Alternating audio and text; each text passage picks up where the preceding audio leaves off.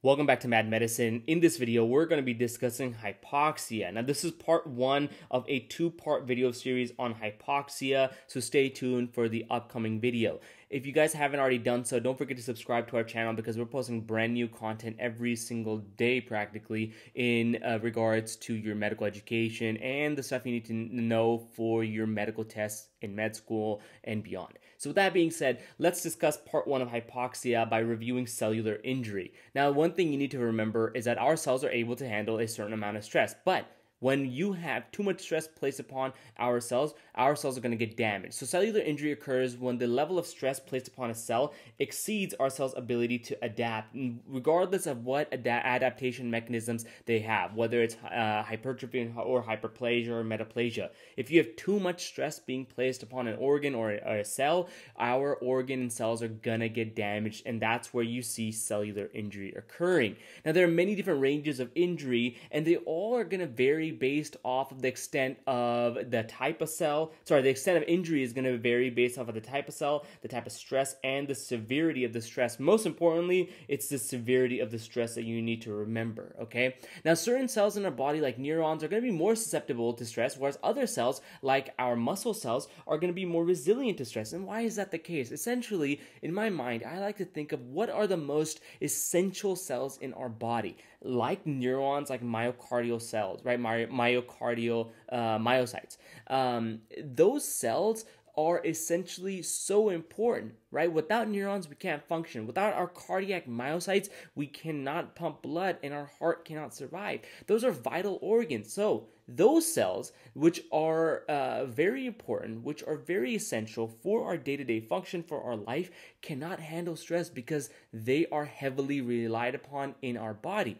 Whereas other cells, like muscle cells, like our skin cells, etc., they're able to handle more stress because they're able to pull back and say, yo, I'm not that important right now. I can chill out. I'm gonna let these essential cells do their thing. I'm gonna let them have all of the nutrients they need to survive. And then when we're at a normal state, I can come back and I can get some nutrients. That's why you have certain cells that are way more susceptible, and a little bit of cellular injury causes a lot of damage, whereas other cells are more resilient, like muscle cells, where a little injury they can recover, they can handle, they have more reserves. Okay, so there are different causes of cellular injury you need to be aware of, like hypoxia, inflammation, malnourishment, genetic mutation, trauma. The rest of these we're going to be discussing in subsequent lectures later on. Right now, we are going to be discussing hypoxia, so let's just dive right into it.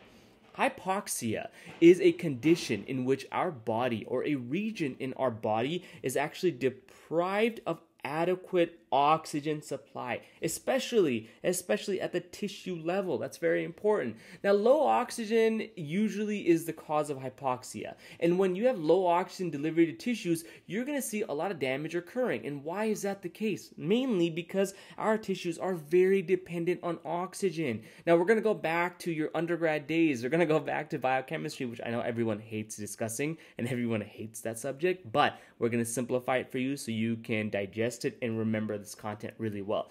Go back to biochemistry and think back to electron transport chain. And you might remember that oxygen is the final electron acceptor in the electron transport chain. What does that mean? Well, because it's the final electron acceptor, it's the it's the main reason why we're able to generate ATP. And if you have a lack of oxygen, you're not going to be able to accept the final electron. Therefore, a lack of oxygen is going to lead to impaired oxidative phosphorylation, and that just means you have low ATP which also means you have low energy. Okay, and low ATP slash low energy is going to cause a cellular injury and can lead to cellular cellular death. So, what are the causes of hypoxia? You already probably know that there are a myriad of causes, but all of those causes can be categorized into essentially three main categories. And those three categories are ischemia, hypoxemia, which is very important you understand that hypoxemia and hypoxia are different, and you have decreased oxygen carrying capacity. So, these uh, latter two concepts, right, hypoxemia and decreased oxygen carrying capacity, capacity are going to be discussed in part two of this lecture series. Right now, we're going to continue this lecture by discussing ischemia, and then we'll wrap up part one. Like I said, we want to make this very easy, very uh, digestible for your understanding, so that you can get this uh, this basic concept locked down in your memory, in your brain, and you can move forward and you don't forget it and you understand it really well. That's the whole that's the whole concept behind breaking up these uh, uh, two videos. All right, so let's talk about ischemia. Ischemia is when you have insufficient blood flow to a tissue. Okay, remember we said hypoxia occurs at the tissue level, and ischemia occurs at the tissue level as well, and it is essentially not enough blood going to the tissue. Now, when that happens, you're going to see, like I said earlier, cellular injury occurring. Now, there are three main mechanisms of ischemia. Number one, you can have decreased blood going to an organ, which is just going to be a blockade of the arterial system.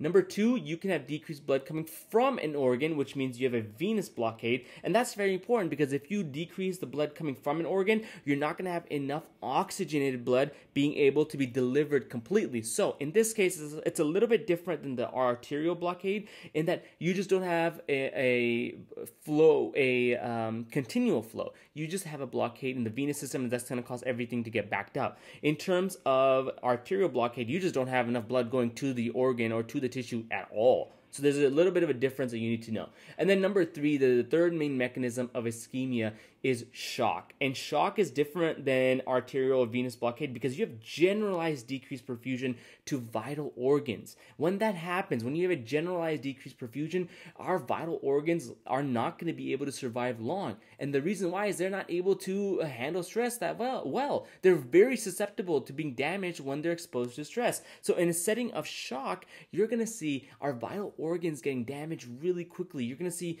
uh, organ biomarkers increase and and it's going to show abnormal activity. Now, ischemia can be caused by multiple things, but the two main things you need to remember is usually ischemia is going to be caused by an embolic event where you have uh, an emboli occurring. So, an example of that would be a heart attack. During a heart attack, you have an embolus that causes occlusion of the cardiac, uh, the coronary arteries that supply our, our heart with blood. And when that happens, when that embolism occludes the heart and you have a arterial blockade, you're going to see decreased blood overall or blood flow overall to that uh, organ.